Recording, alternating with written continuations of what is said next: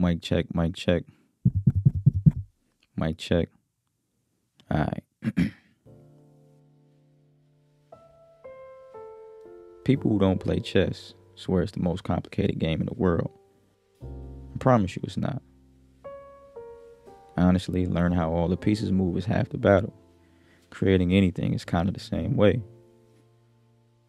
Once you learn all the basics, you can move on to strategy and what have you.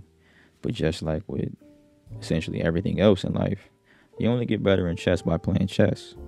Creating art is no different. We, yeah, we, because I know you do this dumb shit too. We like to overthink, overanalyze, and overcomplicate whatever it is you're trying to create.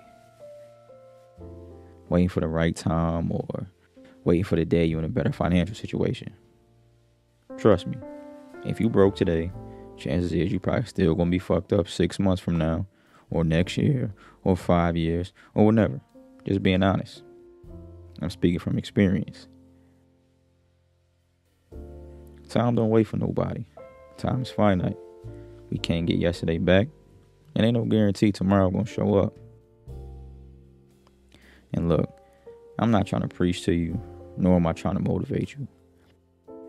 I guess, I guess I just want you to know that I'm in this shit with you. But back to my chess analogy. Well, kinda. I love chess. Think it's the best fucking game ever made. I also love to tell stories. I like to make up characters, some loosely based on people I know, and some are completely made up. Either way, a story must be told, and I have to believe that I'm the man to do the job. Otherwise, I'm just gonna make up some lame ass excuse as to why I gotta put it off for another day. And honestly, ain't nothing more disappointing than another day of not being dope.